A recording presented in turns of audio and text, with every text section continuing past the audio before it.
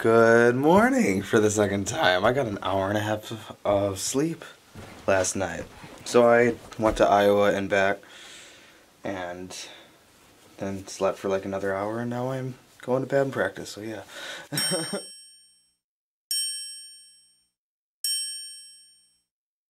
Anyways, yeah. and, like- rap could be lo-fi and be really good.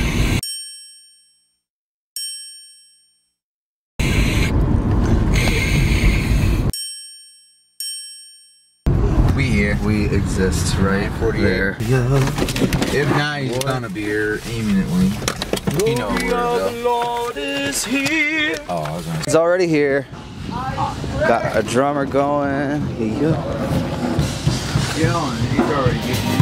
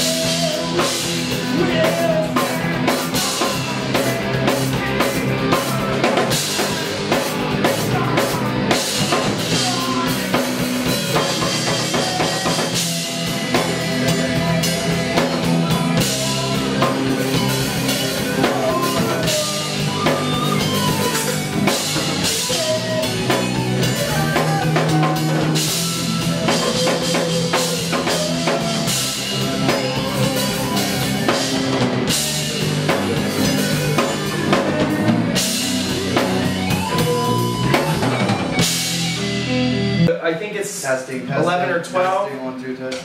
or 10 or the yeah the sure Testing. sure uh, Oh, sure.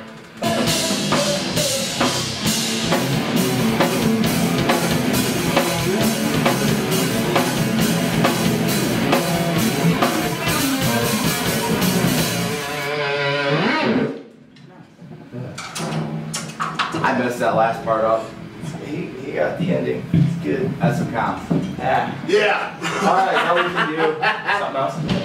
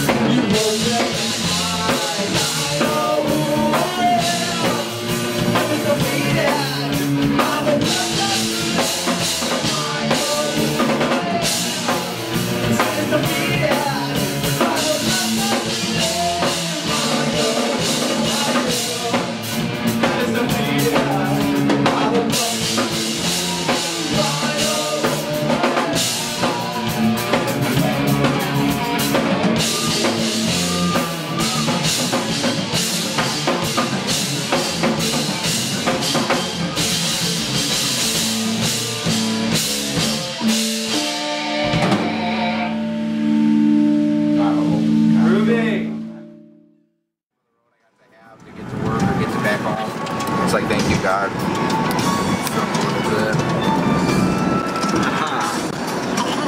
I want to watch the rest of our video.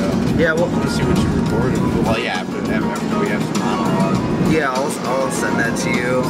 I, I did this, uh, this, we, we, we prayed and I just said this prophecy.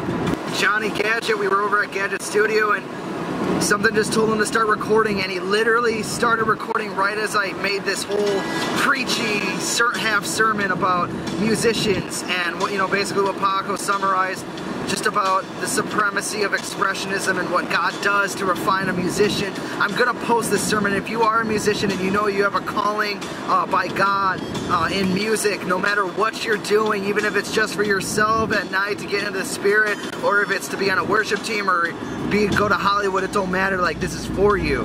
This is for you. This is what God's doing. So I'm gonna post that video um, after this one. So yeah, but I just want to say stay in tune and um, God bless you guys. We're we're done with band rehearsal. Now I got to go back to Iowa and pick up our buddy Josh. And uh, yeah, so see you guys. Rock and roll. Jesus.